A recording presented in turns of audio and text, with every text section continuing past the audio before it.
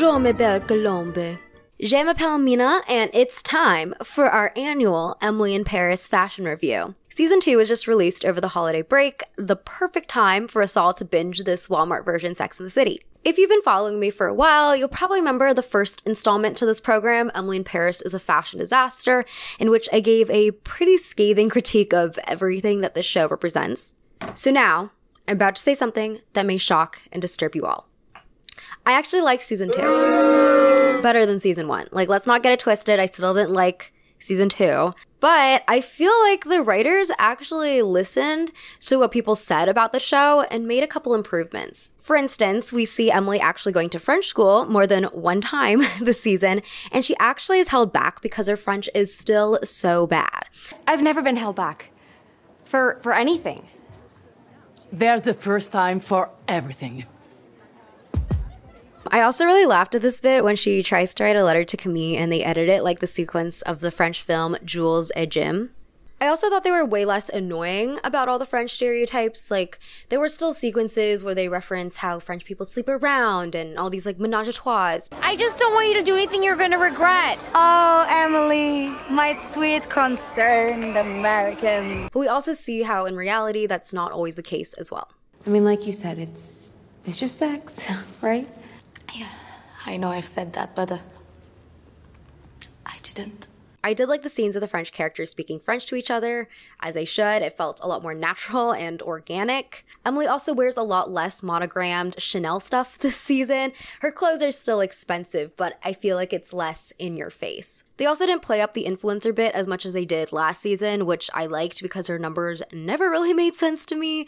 And so it was a welcome change for that all to just revert to like background noise rather than be a major plot point. I also think I just liked the show more this go around because when I went into season one, I didn't know what to expect. I didn't know what kind of show it was. And so I was blown away by how bad it was. But going into season two, I knew now what to expect. And so I was pleasantly surprised. I think it's pretty clear that Emily in Paris is just taking the piss at this point. Like they're trolling us. They know that the secret formula to getting more views and getting more popularity is to be as messy and chaotic as possible. And it's clearly working because here I am making another video on it. I also came across this WWD article on how Viacom CBS Consumer Products, the parent company to MTV Entertainment Studios, which produces Emily in Paris, is actually selling some clothes featured on the show. According to co-costume designer Marylin Fitoussi, the merchandising aspect on the show was separate from the costume design team's decision making. But I do feel like there's something fishy about Emily's obsession with motor gloves this season, and Patricia Field's Emily in Paris glove collection available to buy on her website, as well as some other pieces featured on the show. Capitalism conspiracy aside, I know some of you are probably like, Mina, why are you discussing something that is clearly trash TV?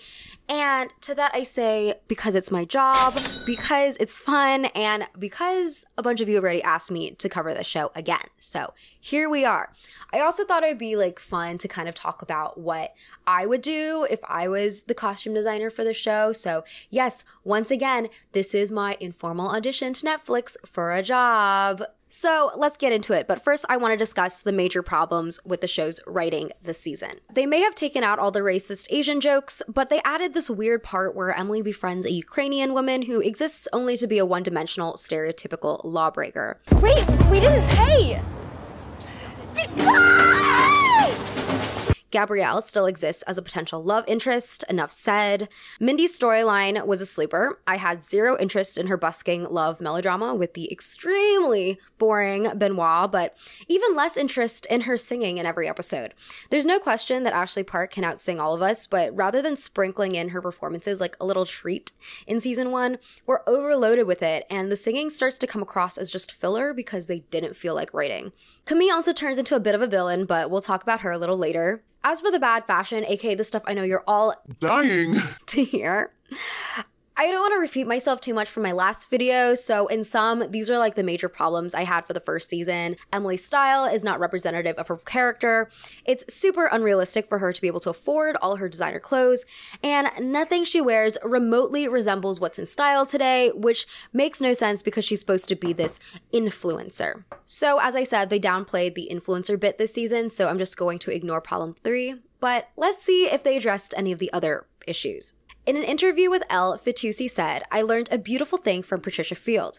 Every morning, she said, Marylin, don't care about reality.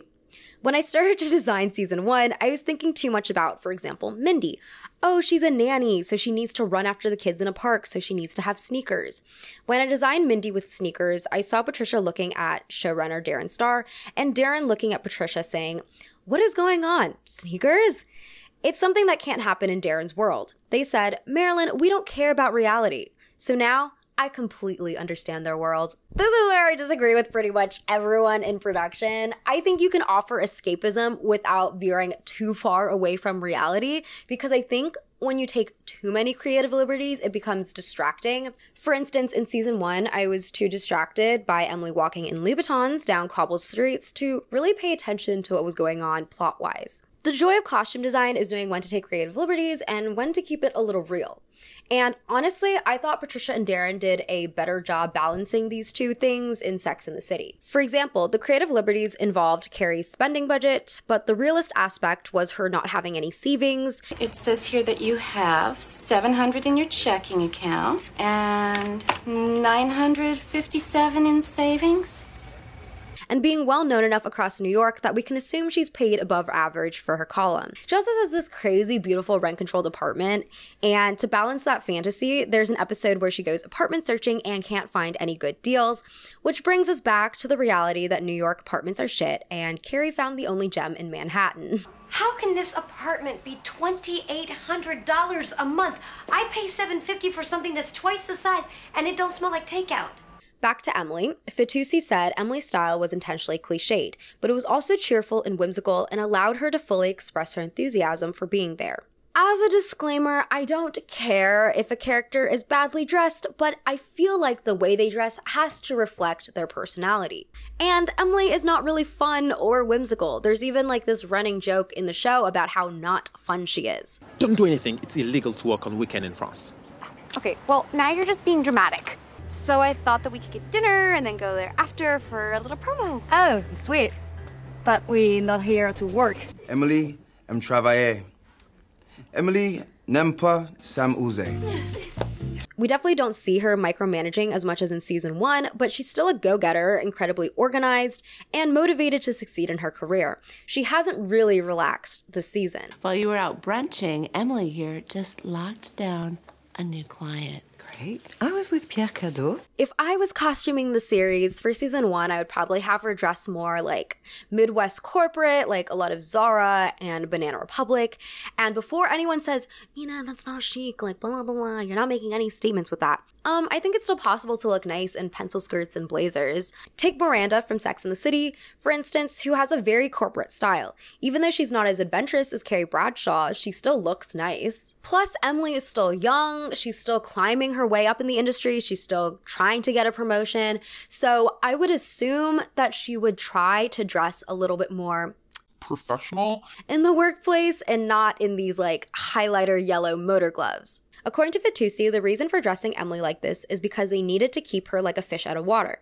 I know people in France are really, really afraid and scared about colors, about print. In my opinion, they're just trying to make Emily into like this next Carrie Bradshaw who dresses very over the top, but Emily and Carrie are very different. Probably the only things that they have in common are their bad choices in men. Justice for Eden, you were the perfect man. In career and personality, Emily is way more self assured than Carrie. She's way less chaotic, less witty, more organized, and she doesn't talk about shoes or shopping half as much as Carrie does. And most importantly, Carrie is a New York girl. I feel like if they wanted Emily to dress more out there, they should have had her start off in New York, not in Chicago. No offense to all my Midwest girlies. I know some of you probably have really good style, but, uh, if Emily was one of those girls with good style in the Midwest, then surely, surely she would be talking about fashion more often than she does. I complained about this in my season one review how Emily is very ignorant of the fashion world, not knowing who Pierre Cadault is, who's supposed to be like freaking Karl Lagerfeld. She doesn't talk about shopping or style. She doesn't seem to really care about clothes, yet she owns a ton of designer clothes. This season, they did try to throw in one major shopping trip for her, which was greatly appreciated, but the execution actually made her situation even more confusing. Uh, c'est baguette très jolie, mais argent gras. Um, like she balks at the price tag of a baguette bag, which, yes, I get it, Sex in the City reference. Give me your bag. What? Your bag. It's a baguette. But last season, we saw her carrying Chanel shopping bags. Like, I'm sorry, Emily, are you making less money now or something? This season, they definitely had her wear less Chanel, less Louboutins, less monograms in general, but she's still wearing pretty expensive clothes. So we're still left wondering how she can afford anything. And not only that, but now my boyfriend's theory that she just shoplifts her entire wardrobe is debunked as well. Don't you know what happened to Jean Valjean when he stole the baguette? Have you ever seen Les Mis? This season, she also wears a lot more old Hollywood inspired looks, like this ensemble consisting of a vintage Courrèges dress, a headscarf, and large sunglasses that give off an Audrey Hepburn vibe. This is a continuation from an idea they played with in season one with her funny face tribute at the opera. I actually like the old Hollywood route because I feel like it's something different, like it's something that not a lot of contemporary costume designers do. But again, it would make a little bit more sense if they showed Emily having a little teeny bit of interest in old films. Like, come on, how easy would it have been to just put like a basic breakfast at Tiffany's poster in her apartment somewhere? The issue is that the costume designers want Emily to look eccentric and unique, but the script doesn't really allow for that. Sure, a few characters poke fun at Emily's wardrobe, Emily importe des vêtements amusants.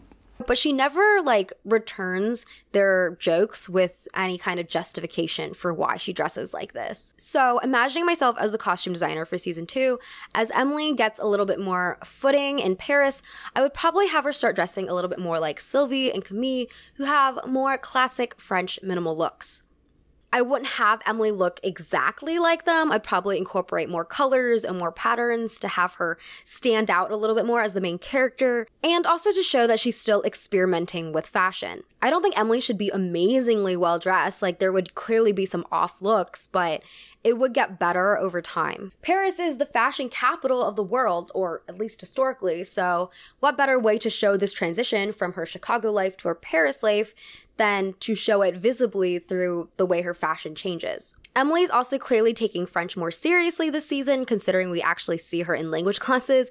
And at the end of the season, she has to make this decision between staying in France indefinitely or going back home to Chicago. Obviously, the show is not called Emily in Chicago for a reason, so she's going to be staying in France one way or another. And having her dress more Parisian throughout the season would better hint at this decision. So she decides to take Sylvie's offer, which I'm assuming she will. It will feel more organic and authentic because the way that she dresses reflects the growth and the life that she is building in Paris. This season, we also meet Madeline, Emily's boss, who is very much like season one Emily, though way scarier and way more severe.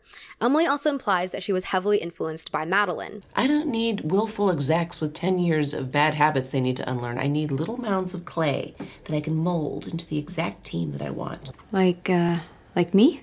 Look, I know what I should do.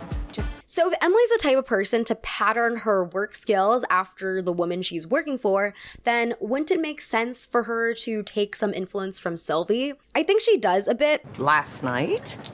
Many hours have passed since last night without a word from you. you told me to stop texting you on weekends.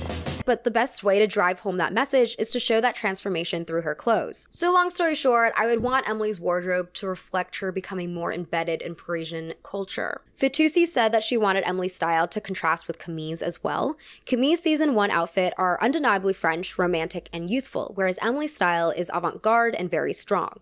I don't really understand why they wanted to make such a difference between Camille and Emily this season because, to be honest, it makes more sense for Emily to dress like Camille, not just because she's becoming more Parisian, but because she's coming after Camille's life, what with trying to steal her boyfriend and everything. Jokes aside, portraying them as these complete opposites feels as though the writers are pushing this rivalry of Emily versus Camille, and I'm not about it. Love triangles are outdated, they're a tired concept. We've seen it a million times before, and you would think that in this day and age, a show that has a mainly female demographic would try to push for more female friendships rather than have women duking it out over a scrub. Like, that doesn't give me serotonin.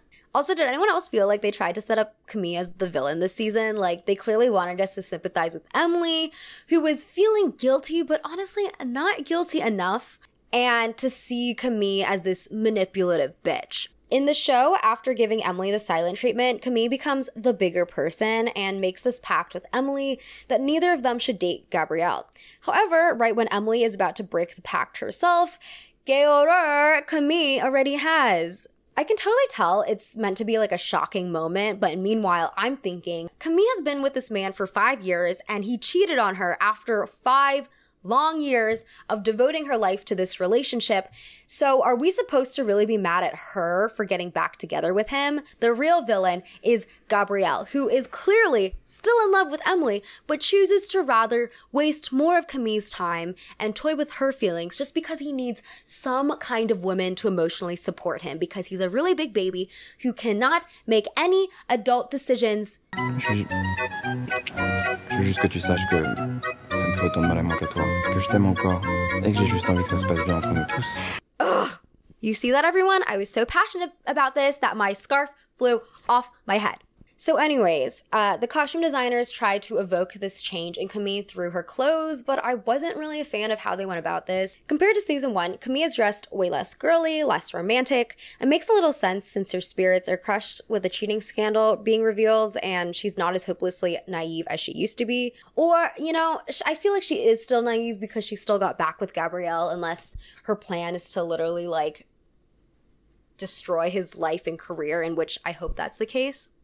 Don't let me down, Camille. Fitoussi said she was very nice and genuine at the beginning, and someone just shit on her. She experienced betrayal. That's why I wanted to introduce her in season two in a massive, oversized Balmain jacket to put her more to power. So Camille is supposed to dress in these oversized blazers to evoke a sense of power, but really in execution it's giving mess. It's giving i don't know how to dress myself anymore. The boxy jackets swallow her and rather than looking chic she looks like a kid in her mother's clothes or father's clothes honestly with the way they're fitting.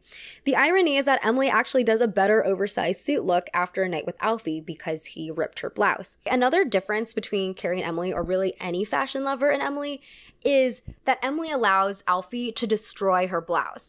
Just rip it. No one who loves their clothes would just allow someone to rip up their blouse. Anyways, if I was costuming the show, I'd probably have Camille start off wearing lighter, airier fabrics, similar to what she was wearing um, in season one.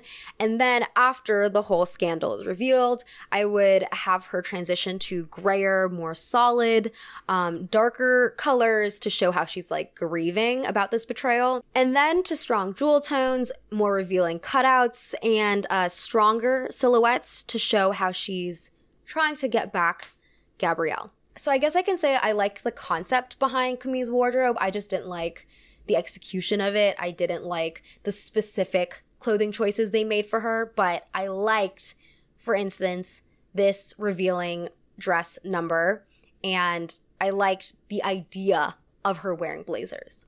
Okay, on to Mindy. I honestly don't even know what to say because she confused me this season. There's a lot of fedoras. Uh, there was a lot of 2010 fashion vlogger vibes. So I understand none of that. But mostly, I don't understand how Benoit was bamboozled into thinking she was a starving artist when she wears designer clothes and never outfit repeats. And now Benoit just thinks I was playing him. He has no one to blame but himself for being misled. About Mindy, Patricia Field said, There's a certain sexiness that's very compatible with this actress, and I try to always infuse a bit of that in her costumes without going overboard. Mindy also claims that she like wants to start over her life in Paris. She wants to leave her Chinese heiress past behind. Um, she wants to start a life with Benoit in this bohemian fantasy that he's projecting onto her. So you would think that in all this, she would try to dress more simply, more casually. I wanted to see like Paris Hilton, Nicole Richie, simple life, except Mindy. like I wanted to see what's like another one? Was it Cow Belles? That movie with uh Aly and AJ where they have to go work on a farm or something. Like you know, like I wanted to see this clear not descent, but this clear prioritization of starting a new life without all the luxury and excess associated with her previous life. And that does include the clothes. Fitoussi also described Mindy being like a superhero.